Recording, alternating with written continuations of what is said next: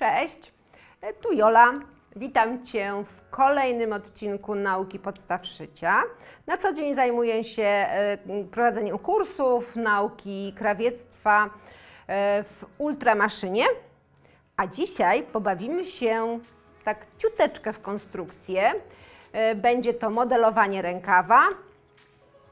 Tu jest nasza taka bluzka dla pokazu, o czym mówię. Ze zwykłego rękawa podpowiem Ci, jak zrobić taką bufkę. To jest nasza, nasz projekt ultramaszyny. Można wykrój na taką bluzeczkę. Bluzka się nazywa Femina i taki wykrój e, dostaniesz u nas w sklepie.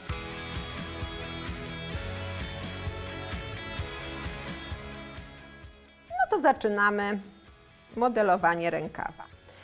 E, Przygotuj sobie jakiś kawałek pergaminu, szarego papieru i tak ułóż rękaw, żeby nad główką jeszcze zostało kilka centymetrów, 4-5 centymetrów e, miejsca. Odrysujemy sobie rękaw.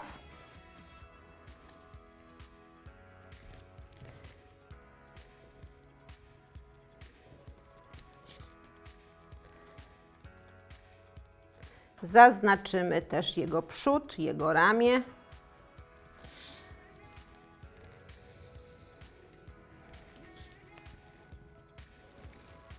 Dobrze.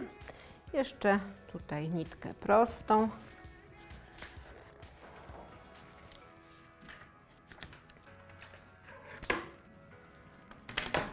Narysuję tę nitkę prostą.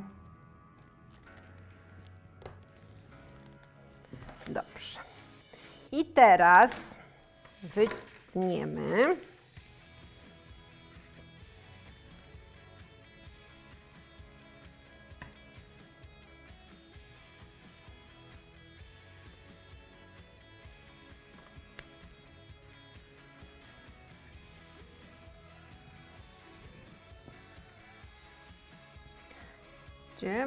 Przeniosłam swoje oznaczenia do wnętrza rękawa.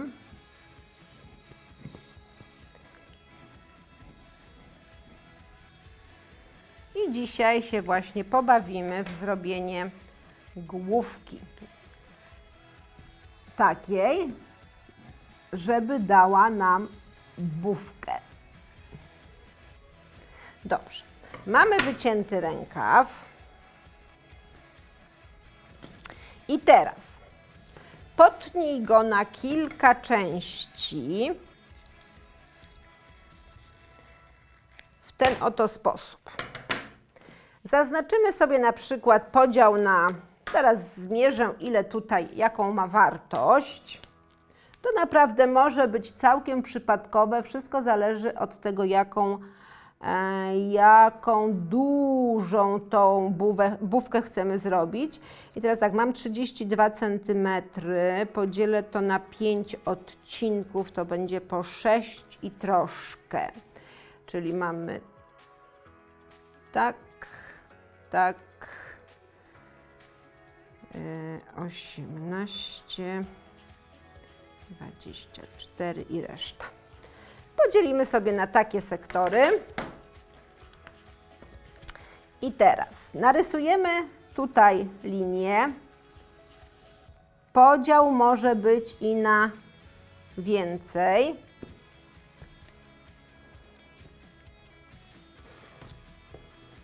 Jeszcze.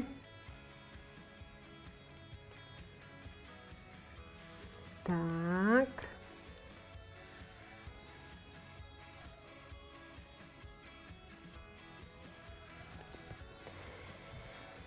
Więcej, czy mogą być drobniejsze komory, a ja akurat zrobiłam taki podział równo rozrzucony. Dobrze, i teraz co będzie się działo dalej? Po tych liniach przetnijcie rękaw do samego dołu, prawie do samego dołu, żeby się po prostu rękaw nie rozpadł.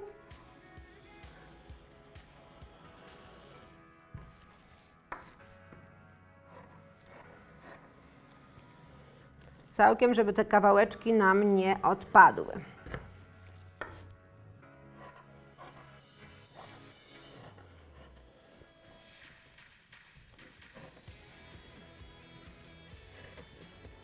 I teraz tutaj właśnie zostawi, e, to co mówiłam, że zostawcie sobie tam kilka centymetrów e, miejsca, bo będziemy ten rękaw podnosić w górę. E, czyli nad rękawem jeszcze potrzebujemy kawałek przestrzeni, tak? Ale jeżeli będziecie to sobie doklejać na innym kawałku papieru, to tutaj to będzie najbardziej istotne. Czyli już Wam wszystko tłumaczę. Na białym teraz będzie fajnie widać to, co się tutaj będzie działo. To jest nasz odrysowany rękaw i teraz połóżcie go tak, żeby on tutaj miał trochę swobody. Jeszcze.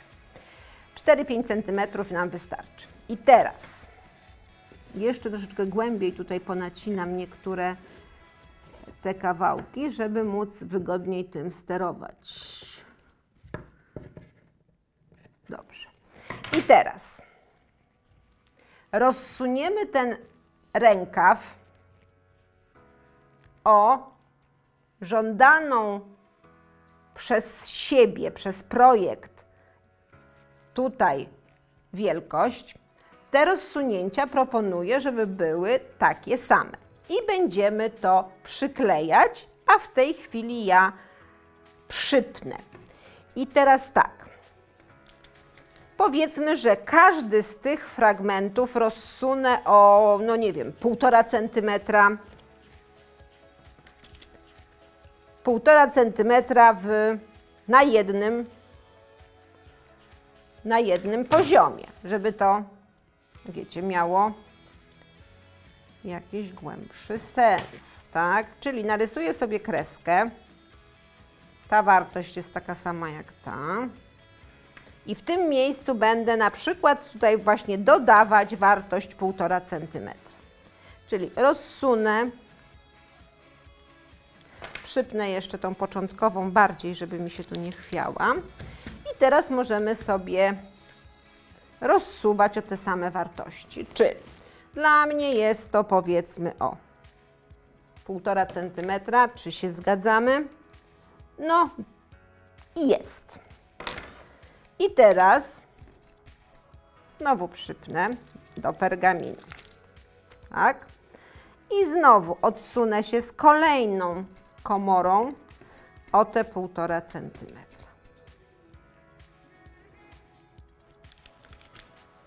I tutaj naprawdę warto sobie przypinać przynajmniej dwiema szpileczkami albo kleić.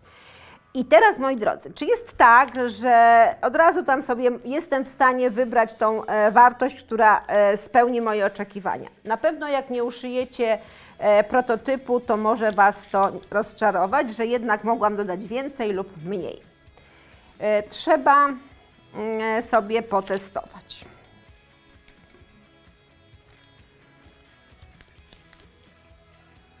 Tak, to mi się troszeczkę o, rozsunęło.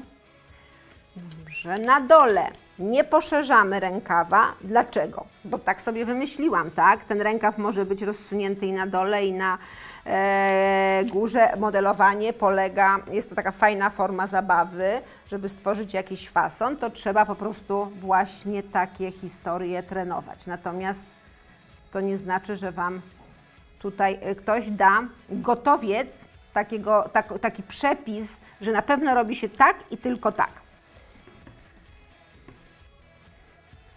Robi się to w ten sposób, ale wartości są zmienne. I teraz wyprostuję tę linię.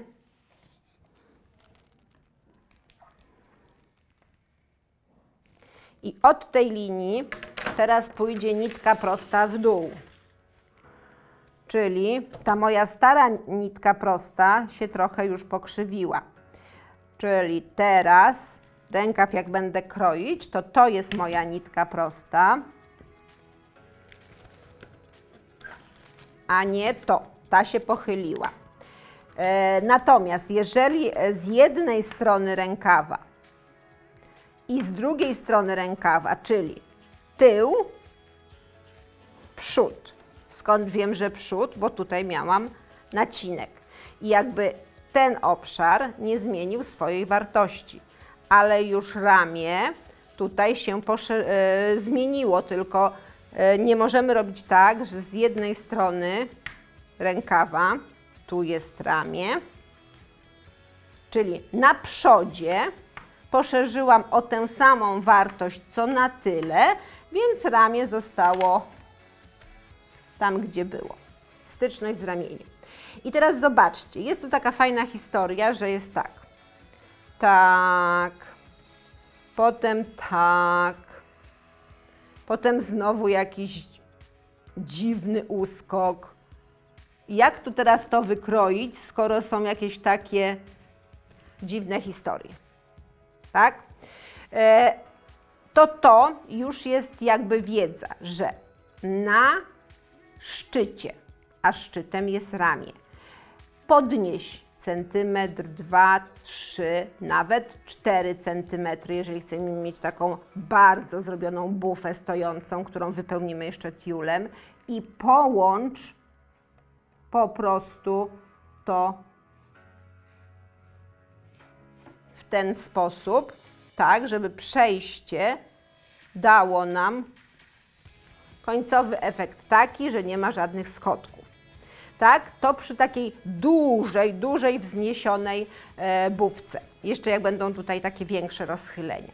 A standardowo zrobimy tak, że możemy sobie tutaj zmniejszyć to, tą różnicę, tu ściąć połowę tej różnicy, bo teraz różnicę mamy dosyć dużą, czyli tu odrzucić ten kawałek, a tu dołożyć ten kawałek. I już schodek nam się zniwelował. Czyli ciach, ciach, ciach, ciach, ciach. Nie widzę narożnika, obcinam połowę różnicy, a tu dodaję. I będzie, i idę sobie dalej. Czyli tego nie mam, ja już Wam go tutaj obetnę. Czyli tak, tak, tak, tak, tak. Połowę różnicy ścinam a drugą dodaję. I idziesz, idziesz, idziesz, idziesz, idziesz, idziesz, idziesz. I ta sama historia. Tutaj dodaję, a tutaj ujmuję. I przejdę już płynnym przejściem. Ale tak, takie coś do mm, dużego poszerzenia e, główki, tej objętości, żeby mieć bardzo dużo marszczenia, to troszeczkę mm, się no nie, nie sprawdzi. Trzeba ewentualnie zrobić ten pierwszy skok, tak jak, jak, tak jak Wam pokazałam. Odrzuciłam, dołożyłam. Natomiast tutaj od tego miejsca proponowałabym zawsze zrobić wzniesienie. Tak? Tutaj jest niwelowanie w podkroju i dokładanie różnicy, tak? Natomiast samą główkę trzeba wysadzić w górę. I już będziemy mieli podobny rękaw do tego. Y, jak nasz rękaw y, jest tutaj zrobiony, na ile rozszerzony, na całą wartość materiału. Natomiast jeszcze też był poszerzony lekko tu. Zanim powstał ten, według nas idealny rękaw, o jaki chodziło projektantowi, były zrobione ze trzy próby, czy o to właśnie chodziło. I tak to wygląda. Nie jest to wcale skomplikowane, tylko czasochłonne i trzeba się troszeczkę pobawić. Wyciąć, zszyć, zmarszczyć, pasuje, to nie, to dobrze, nie pasuje, to robicie większe odstawienie w bok, tak? Jeszcze jedna rzecz, która, na którą tutaj zwrócę Wam uwagę, że po takim modelowaniu, po takim modelowaniu rękaw stał się na dole łukiem, a forma na początku była prosta. Czy Ty to możesz wyprostować? Możesz oczywiście tutaj wyprostować. Czyli tutaj dołożymy tkaninę. Jeżeli zaciekawiłam Cię e, modelowaniem, co to jest i jak e, działa się właśnie na podstawowych formach, to zapraszam Cię serdecznie na kurs e, konstrukcji i modelowania właśnie podstawowych form. Najpierw em, tworzysz e, konstrukcje czy formy, rysujesz dokładnie na swoje wymiary, a potem je modelujesz. Kurs konstrukcji jest oczywiście online i dzisiaj zakupicie go z rabatem. W tym odcinku Nauki Podstaw Szycia to już wszystko. Życzę Wam e, bardzo fajnej zabawy z formami, z modelowaniem i stworzeniem własnych wymarzonych fasonów. Do zobaczenia w następnym odcinku Nauki Podstaw Szycia.